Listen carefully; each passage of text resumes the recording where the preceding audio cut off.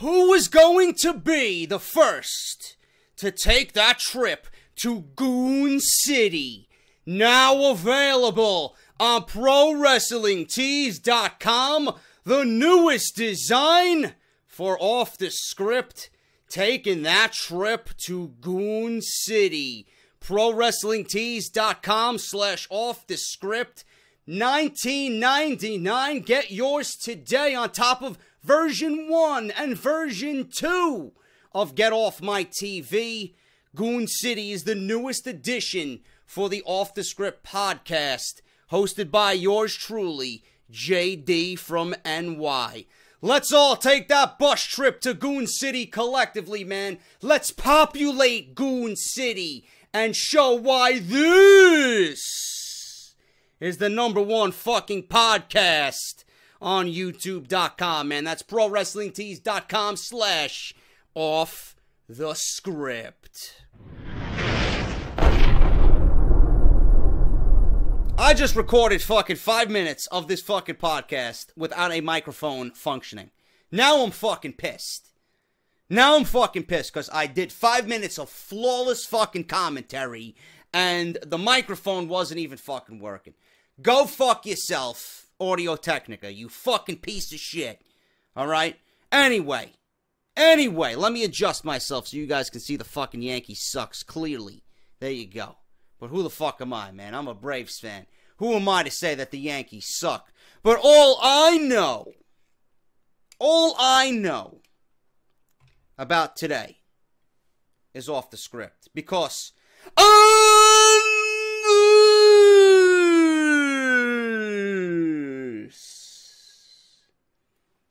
is number 113, part number 3 of the number one fucking source right here on YouTube.com for everything WWE. This is off the script.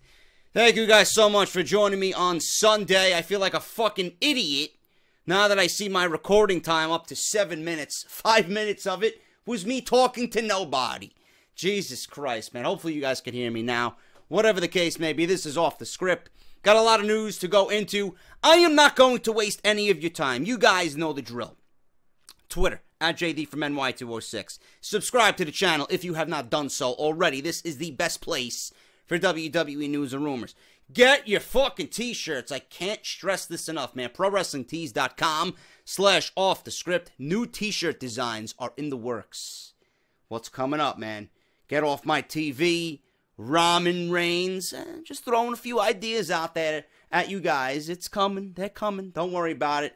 Gonna fill up that shop with the best looking fucking t-shirts money can buy, bro. That's what I'm about. I want to give you guys quality. ProWrestlingTees.com slash off the script. WrestleCrate.com and on Twitter at WrestleCrates. Use the coupon code JD sent me for an instant 10% off your first purchase. What is WrestleCrate? Visit the website Number one subscription service delivered to your front door with wrestling shit, man. The absolute best you can buy for your money. And finally, I was on two, actually one podcast, but I'm going to mention two podcasts. Number one, my own, obviously. Off the script, iTunes, Podbean, Stitcher Radio, and Audio Boom.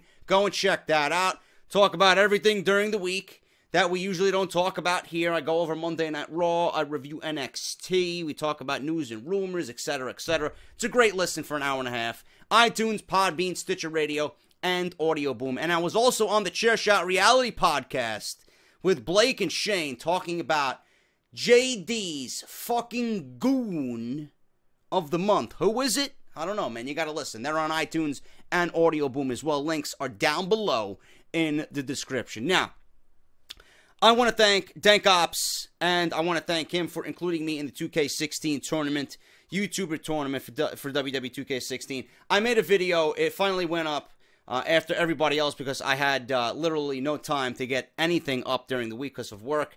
It is up. It was uploaded yesterday. Everybody that's listening to this podcast, I, I want you guys to do me a favor, okay? I want you guys to go and like the video, get it to the most thumbs up that you can possibly get it to. Tweet it to 2K Games. I'm going to leave their Twitter down below as well with the description. uh, in the description with the link to the video.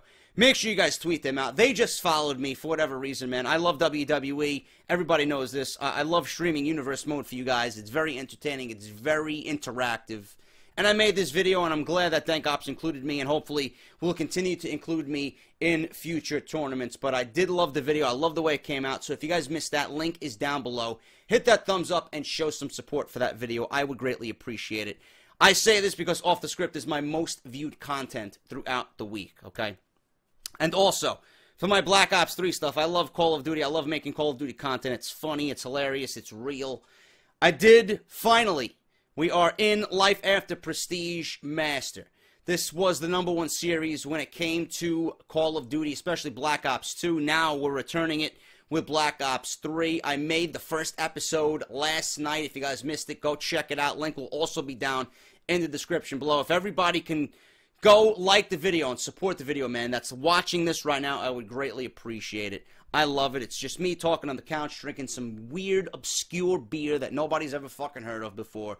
We're talking shit. You guys get to see great gameplay on top of that. It's just a fun time, man. So please go and support those two videos. I would greatly appreciate. Thank you guys very, very much, all right?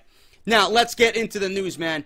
Everybody and their fucking mother was tweeting me last night about Adam Rose. Adam Rose and Konnor of the Ascension suspended for wellness policy violations. WWE has tried for years to make sure talent is safe within the company. While they have not been perfect with this over the years, they have improved each year as time has passed. After the passing of Eddie Guerrero, WWE instituted a substance abuse wellness policy. It was geared towards making sure talent stayed away from harmful drugs. WWE had a list of banned drugs such as steroids and painkillers that talent could not take. If a talent did not have a prescription, they would be suspended for a period of time if they failed a surprise drug test. WWE gave talent a three strike rule. Three strikes and you're out. If you failed once, you were suspended for 30 days. A second violation would mean a 60 day suspension. Finally, a third offense would result in immediate termination from WWE, and the talent could not be rehired for the period of one year. WWE also offers free rehab to the current and past WWE talent who ask for help. WWE has turned down some, like Sunny, over time due to the fact that they have spent a lot of money on her on her rehabilitation, but she continues to relapse. The company does take wellness policy very seriously, and thus they suspend talent when needed. While fans have not been um, very very keen on seeing a violation for some time now, it does appear that two infractions have now recently occurred.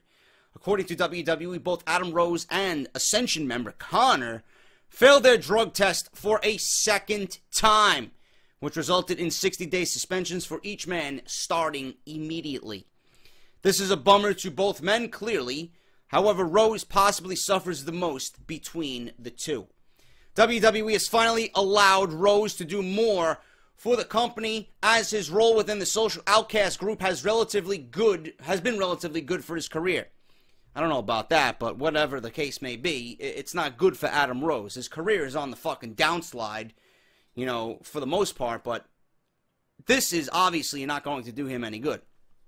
Both men are not major stars for WWE, but even if they were, WWE had no choice but to suspend them due to the rules of the wellness policy. After the death of Chris Benoit, these drug tests became a much bigger deal. Initially, it seemed like the company didn't care much and only had the policy to look good in the public eye. After Benoit, it became a much bigger thing for the company to focus on. They didn't want to have another situation like that, as WWE has still not fully recovered from the acts of Benoit when he committed, um, you know, the heinous acts where he murdered his family, even though they had not, uh, they had nothing to do with him harming himself or anyone else. People point to the numerous headshots over the years, but Benoit also had drugs in his system after he took his own life. WWE did decide to remove chair shots to the head regardless and are focused on making sure head uh, making sure the head of every talent is protected. They even make sure no one wrestles with a concussion now and have improved their head exams for talent ever since CM Punk exposed their terrible tests when he was hurt in 2014. WWE is very particular about the drugs one puts in their body. While prescription prescription drugs are considered okay, WWE does not like for talent to be on certain ones. The drug usage had to be passed through WWE's office from a doctor with why a talent needs such a medication. Meanwhile, even many over the counter drugs are not good.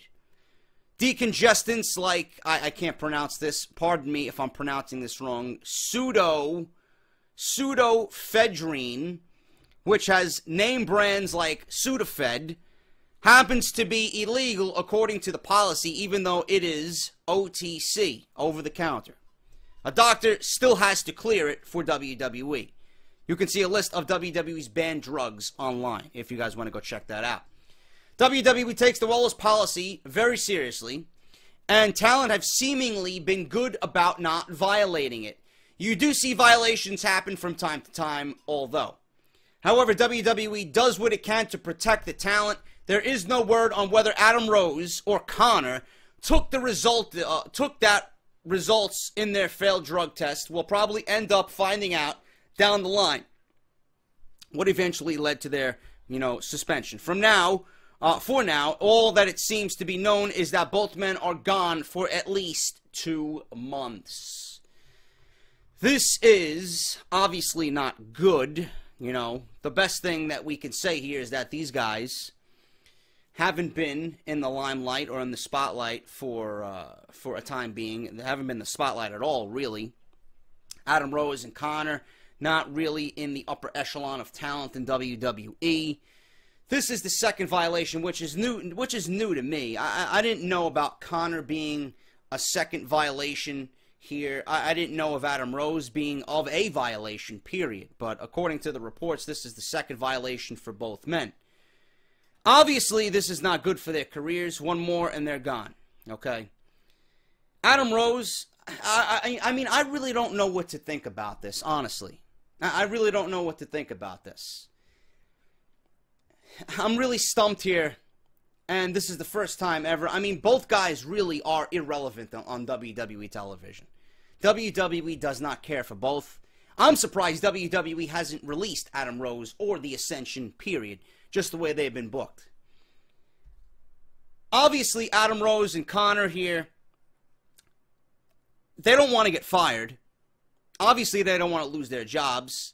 I have no idea what they've been suspended for. Who knows what it could be? It might be a couple of days till we find out exactly what they were suspended for or what types of drugs they were suspended for.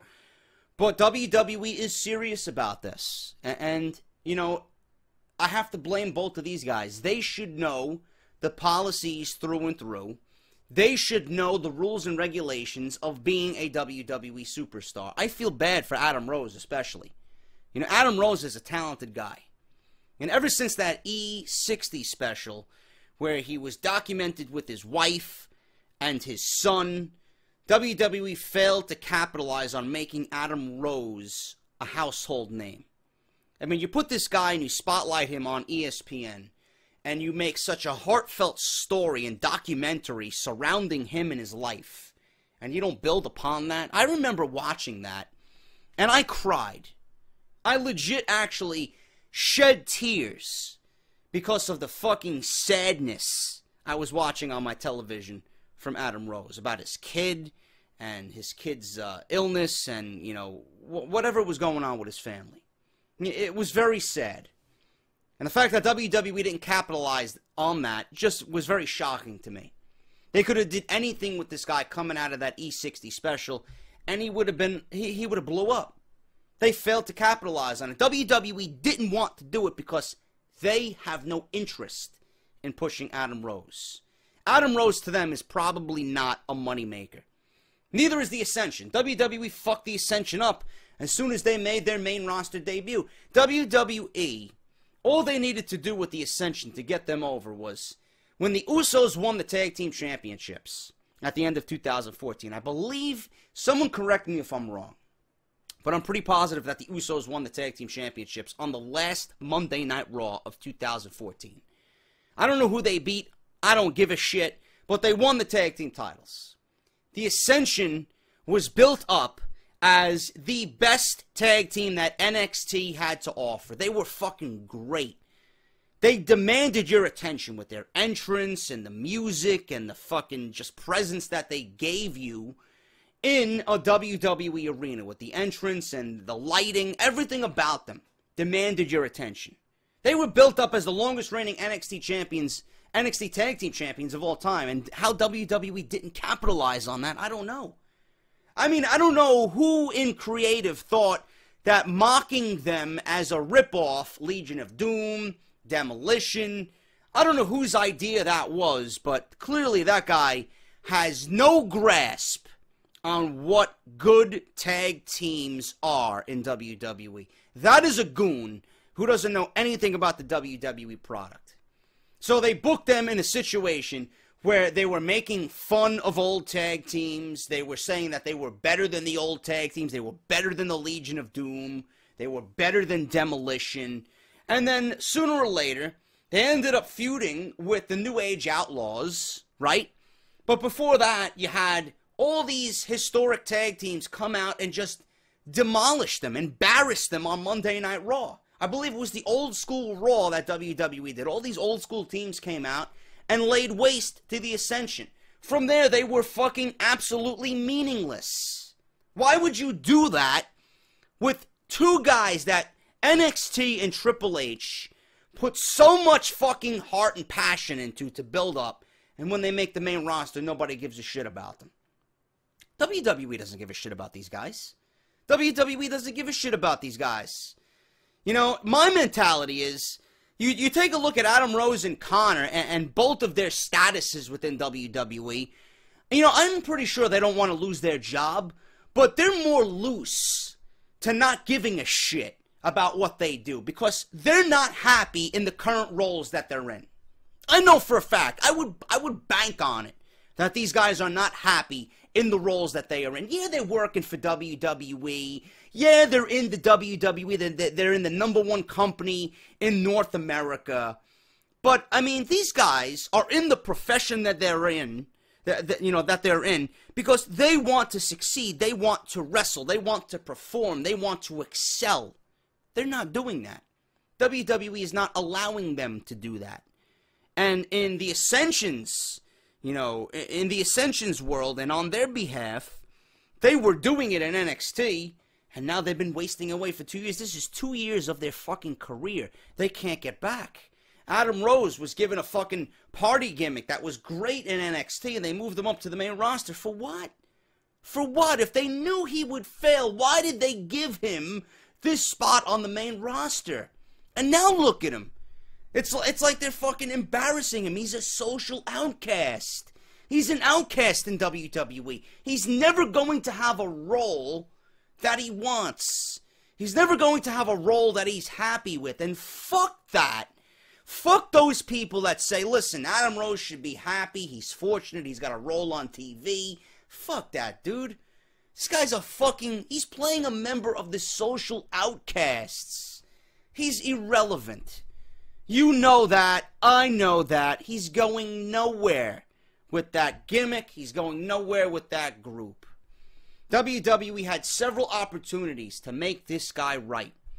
With, with the fucking E60 special and Ray Leppan coming out of that. They could have put him in the Wyatt family. They could still put him in the Wyatt family as Leo Kruger. Have him grow the beard out. Have him be that rough, tough, you know, that rough, tough, rugged individual that he was down in FCW in NXT. Well, I don't understand where their mindset is. So, Adam Rose and Konnor suspended. I would like to think that they do care about their jobs, but I would not bet against these guys being a little bit more lenient and loose and carefree about what they do because they're not happy in WWE. They're not in their roles, how can anybody be happy about what they're doing? They're glorified fucking jobbers. Yeah, like I said, you're in the WWE, but you're an embarrassment to everybody, man. when you post pictures on Instagram, nobody gives a shit about the Ascension. When you highlight the Ascension on Monday Night Raw, nobody's going to the arena to see great tag team wrestling because of the Ascension. Nobody's going to the arenas to see Adam Rose. Nobody's hashtagging social outcasts. Fuck out of here, man. These guys are unhappy with what they're doing.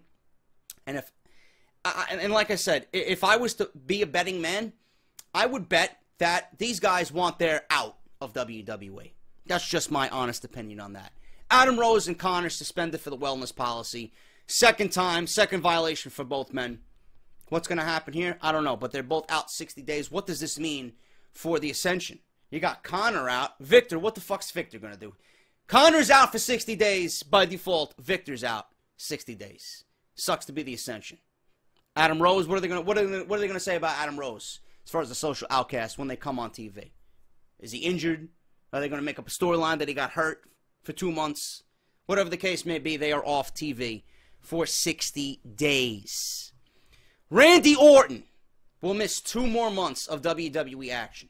WWE superstar Randy Orton has been out of action since last year due to a bad so, due to a bad shoulder injury. Orton, of course, already has a hypermobile shoulder, which means a shoulder issue for the Viper is not always terrible as he will always have them. However, it may take him longer to heal up from a severe injury to that area. Ever since his last injury, Orton has done his best to make sure he doesn't commit the same mistakes he did before. He now has his own bus where he rides to each event. He also ices his shoulders and hurt areas after each show as well. This seemed to help the former WWE World Heavyweight Champion. However, in 2015 was a year of injuries for WWE superstars, and 2016 has started off badly for talent as well. Due to seemingly sheer force of nature, people were hurt, and Orton happened to be a part of the list. The rumor is that Orton hurt his shoulder taking out trash at home, but most believe he was hurt in a match and things worsened at home for him. Regardless of how he hurt his shoulder, the thought was that we would see Randy Orton make his return to WWE later this month or early next month. He's been out since October, and this would mark eight months without seeing him compete within a WWE ring. According to Ringside News, however, Orton will miss another two months. That means we may not see the Viper until possibly July. Due to Orton's shoulder condition that already exists, there's a chance it is causing his recovery to take longer. However, it was a weird issue for WWE when it came to shoulder issues. Cesaro, John Cena, Sami Zayn, and Hideo Itami all had shoulder injuries that took place last year or early this year. Orton was a part of this list. John Cena ended up having a lot more issues than just a normal shoulder injury, but he is expected back around June. Itami was hurt last summer, but had complications which caused his recovery to take longer. Cesaro and Zayn have already returned from their injuries, which leaves Orton as the remaining main roster guy, along with Cena, who was hurt last year and has yet to return to action. This could be WWE being cautious with Randy Orton. Most believe he is fine, and many saw him during WrestleMania week where he looked okay. However, WWE had so many guys go down with shoulder injuries that hurrying someone back that does not need to be hurried back would be a bad idea. Absolutely the most important statement in this report. Orton has also stated that he would like a shorter schedule where he works full time for a number of months and takes an off season of sorts for himself and gets rest in which he needs. Something like eight months on, four months off could do wonders for someone like Orton, who has been with the WWE for well over a decade. He is still a valuable part of WWE, and having him overworked would be bad. With someone who has a history of shoulder issues, having Randy Orton work a shorter schedule could only extend his career with WWE. He could very well be around for another decade with something like that for himself. As for a return, nothing is planned storyline wise uh, as, as well for Randy Orton. Nothing is planned storyline wise. Seems obvious Randy Orton will be a part of SummerSlam, which I'm assuming he will. So WWE may hold off until the night after WWE Battleground if they want to make sure that he is fine 100%. We'll have to wait and see what they decide. For now, we do know he won't be back as soon as originally hoped. There's no reason for WWE to rush Randy Orton back. There's absolutely none. I, I doubt, you know, guys like me and you and the people that watch this podcast that were dying to see Randy Orton back. All I know And the main gripe that I have with Randy Orton is that he gets stale too fast. They turned him face from a heel. Everything was great, and then it just started to fucking go downhill ever since, and then he got hurt. Randy Orton, in my honest opinion, was the best as the legend killer. I think Randy Orton needs to come back as a heel. I think Randy Orton needs to come back as a heel. He needs to be the legend killer again. I would like for him to revisit that. But overall, regarding Orton, there's no reason for him to rush back. WWE has more than enough talent right now with the influx of NXT guys that was proven about Monday Night Raw. On Monday, they're more than capable of giving us a good fucking show on Monday night. They don't need to rush back Cena. They don't need to rush back Orton. They don't need to rush back Rollins. Okay? Those guys, let them rest.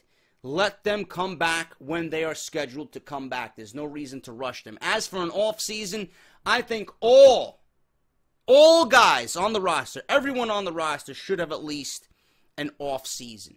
One month, two months to just rest and recuperate. Not only will that extend their careers, but it will cut down on the injuries. It will give these guys more time to heal when they are not hurt, when they're feeling okay. They get to rest and relax and recuperate and regenerate. You know, Orton, eight months on, four months off would be fucking great. Same thing with Cena. Especially as you get older, man. Orton, someone who's in his 30s, mid 30s, Orton is still relatively young, but he's been in the business quite a long time. John Cena can certainly use the time off as well. We don't need to see John Cena 12 months out of the year. We don't need to see Orton 12 months out of the year. That gives the roster breathing room and it also gives a spot to the guys who are younger to grab a main event spot, to move up, to show WWE what they got with an Orton out, with a Cena out. Grab that that brass ring, grab that spot, grab the ball and run with it gives opportunities to everybody. So not only is it good for the guys who are recovering and recuperating and getting, you know, well from injury or whatever, the, you know, the, obviously being on the road, you're beaten and battered. Rest up. It also gives uh, an ample amount of time for the young guys to just go out there, you know, fresh and healthy and just show WWE what they got. And when those guys are out, you can slide these young guys right into the main event spot. And when everybody's back at the same time, you got a full roster of main event guys and people and, and, and just people that the audience wants to see. So I, I, think it's great. There's no reason to rush back Orton. He'll be back in July around Money in the Bank. You know, obviously he's going to be at SummerSlam. He's going to have something very important to do at SummerSlam. It's going to be great to see him when he comes back, but there's no reason to rush anybody back from injury. Cena, Orton, and Rollins. WWE Superstars complaining that AJ Styles is working too stiff in the ring. Cry me a fucking river, the Styles Clash. Will it be officially banned? Throughout the course of his career, AJ Styles has proven he's one of the greatest wrestling talents in the entire world. During that time, he's also had a number of complaints from multiple talents throughout different promotions that have issues with his in ring style and say that he works too stiff. That has led many calling for Styles Clash to be banned due to it being dangerous and causing injuries. Now that talk is starting up in WWE as well.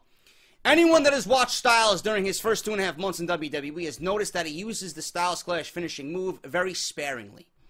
He'll use the calf crusher, submission, hold, or the flying forearm to finish off his opponents. One could be led to believe that the Styles Clash has been banned by WWE, but he's been told to only use it on special occasions.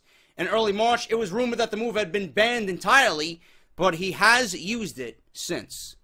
It's been said before that his finishing maneuver isn't the only issue, as other wrestlers believe that Styles works too stiff in the ring. After his match against Sami Zayn this week on Monday Night Raw, the talk about his work has come up again. Jim Ross actually has touched upon those rumors and is letting the world know that some things should be better left out of public discussions. He has been asked about Zayn on the WWE main roster and Styles working too stiff with his opponents. Zayn is a main eventer. He's a main eventer in waiting, and he's likely not going to be waiting too long. Talented, dedicated, professional is Sami Zayn. By the way, working stiff isn't a crime, but working in a careless manner is. Don't believe all that you read or hear. Rumors always fly around, and there have been no reports straight from any WWE talent that Styles is working too stiff in the ring. It does truly seem that AJ Styles is using the Styles Clash a lot less than he used to in previous promotions. In 2014, Styles was in a match with Yoshitatsu in Japan, in New Japan Pro Wrestling, and the finish of the match was quite frightening. Styles set up Tatsu for the Styles Clash, delivered it, and it was botched to the point where Tatsu landed on the back and top of his head. Yoshitatsu ended up having his neck broken and was out of action for 18 months, only recently returning to the ring. There was another incident in 2014 where a British wrestler named Lionheart also had his neck broken in a match with Styles. The injury happened due to a botched Styles clash, and Lionheart has often spoken publicly about having the move banned throughout all of professional wrestling. Now, Styles is in WWE, and he's in a promotion where he could fight a larger selection of wrestlers, and anything could happen.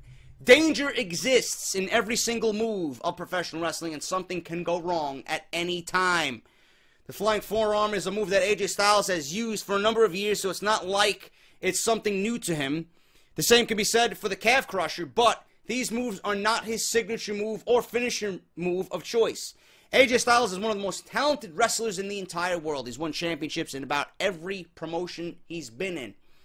He's challenging for the WWE World Heavyweight Championship now at Payback against Roman Reigns, and many believe he's working too stiff in the ring. Professional wrestling is a dangerous sport, and anything is possible at any time, but Styles obviously knows his craft well enough to get where he is. I believe the Yoshitatsu thing was a botch on Tatsu.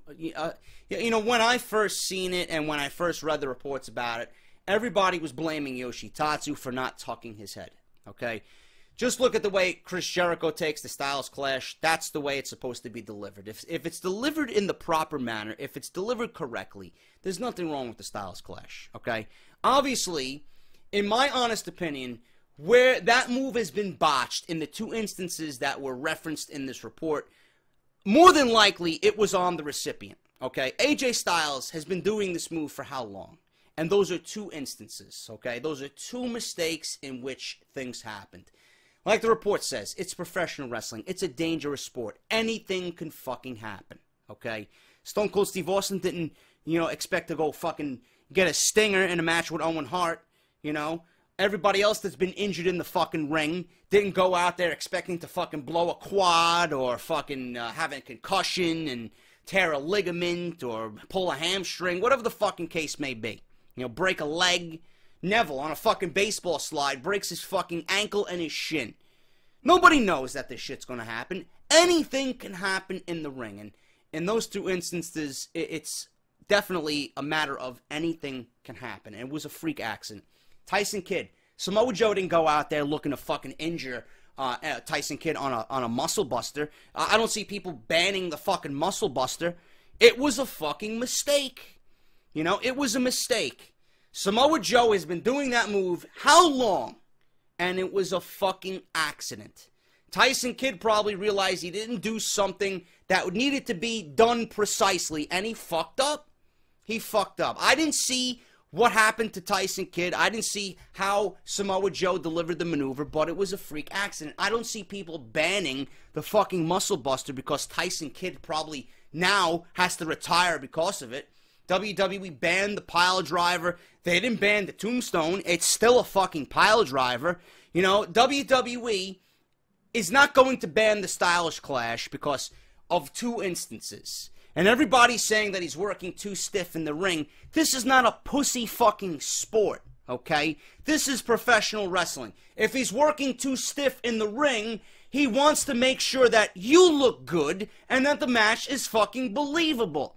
He's a veteran. He's 37, 38 years old, veteran. He's won world titles all over the fucking world. I'm pretty sure AJ Styles knows what he has to do.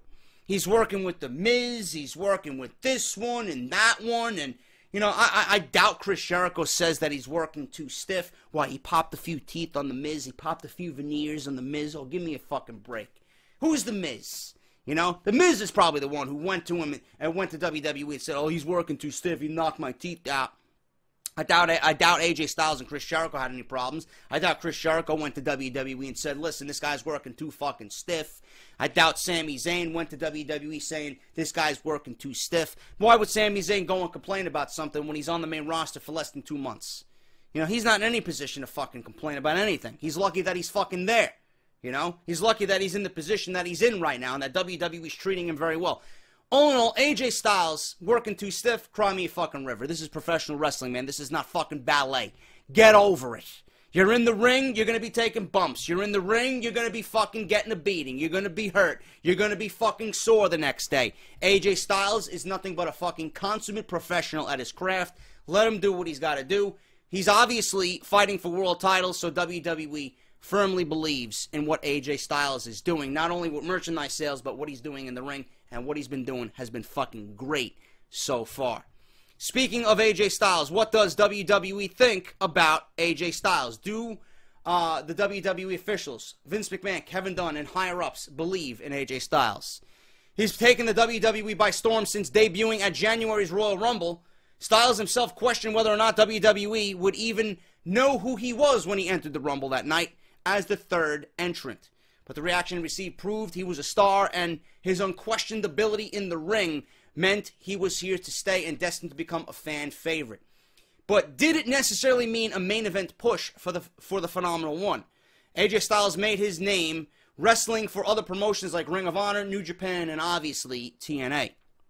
It's been well known for years that Vince McMahon and top WWE officials prefer creating homegrown stars molded from their own designs. Vince and those other same officials have had a change of heart recently and are capitalizing on the star power that is AJ Styles. According to a recent report from DWN, Daily Wrestling News, Styles is receiving massive support from those top officials and has left a positive impression on Vince McMahon in two and a half months that he's been with WWE. AJ has already made a dent in merchandising as fans continually buy his wristbands, sweatshirts, t shirts, and gloves. But perhaps more importantly, or at least in conjunction with the merchandise, WWE management views AJ Styles as their most marketable new talent. It certainly didn't hurt Styles that he had already established a reputation wrestling around the world, but despite some minor promo deficiencies, he seems to have a leg up on some of the newest members of the main roster. Styles quickly established himself as a dynamic performer who could help carry a match or a feud on his abilities in the ring alone. His lone feud thus far saw him square off with Chris Jericho from night after his debut, all the way up until WrestleMania. The two put on clinics on Monday Night Raw and SmackDown, and then again on pay per view at Fastlane and WrestleMania. And never did their program feel stale or recycled. I I, I disagree with that. It deal it did feel a little bit too much. I, I'm not going to say it felt stale. I'm not going to say it felt recycled, but it was one too much. Okay, the WrestleMania match did not really need to happen. Jericho turning heel played a big part in that, but AJ consistently entertained with his top-notch performances inside the ropes. Three months ago, he was the hottest free agent on the wrestling market. Now AJ Styles finds himself as the number one contender for the WWE World Heavyweight Championship and in the main event at Payback against Roman Reigns. The decision to put him in that spot was made just recently, but it also may be a part of the driving force behind turning Roman Reigns heel. AJ Styles might be a catalyst for Roman Reigns turning heel. Either way, it appears Styles has cemented himself for now in the WWE's upper echelon main event scene. Got to be happy for him, man. We all wanted it. We didn't believe it, but it's happening. AJ Styles is going to be in the main event. He's going to be a very, very big part of WWE 2016. He's going to be a vital part of the main event scene, and he's getting over based on his wrestling talent. You know, a lot of that has to do with where he came from and people know who he is. He he was he was a big enough name to the point where he came into the WWE and people knew who he was, but they didn't know how good he was. And now people know how good he is and everything is fucking clicking on all cylinders for AJ Styles. And this is why he has the support of Vince McMahon, WWE officials, and now he's in a main event with Roman Reigns for the WWE Championship.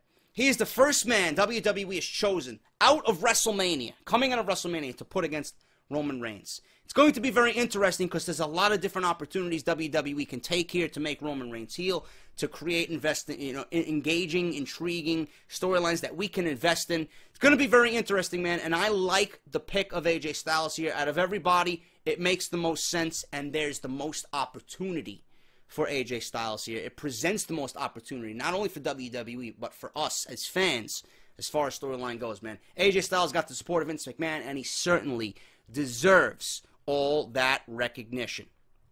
And finally, guys, the debut of Doc Gallows and Karl Anderson. What is next for the former Bullet Club members? WWE Raw after WrestleMania 32 saw many new names make their debut to the main roster. It is usually a time for debuts each year, so we all expected to see a ton of new guys. There were two men who did not appear, however, and many fans expected them to do so.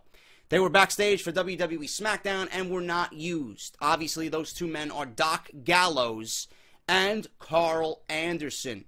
According to PW Insider, the two men are scheduled for all upcoming WWE shows from here on out. That said, there is a good shot that they are inserted into the tournament in some way. If they are not, it will be interesting to see what WWE does with Anderson and Gallows. It was thought beforehand that the two would not make their debut until Finn Balor's official call up. Balor remains with NXT, and it's uncertain when he will be called up. WWE will, will, of course, be pairing him up with Gallows and Anderson.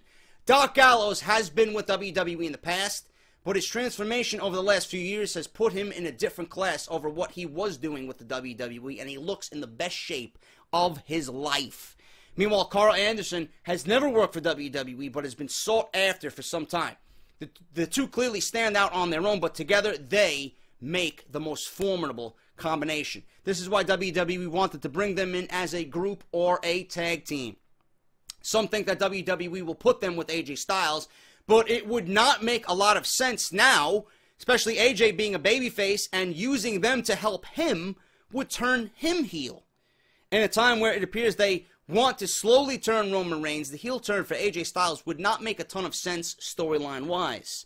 That means if they pair up with anyone, it will be NXT champion Finn Balor. The problem is that Balor remains in NXT while Doc and Karl are on the main roster. We very well could see Balor down the line. It was rumored that he could come up very soon, but Triple H wanted to keep Balor down on NXT for a little while longer. That said, Balor may be held back until the next NXT TakeOver special. Either way, either that or he could appear at or after WWE Payback.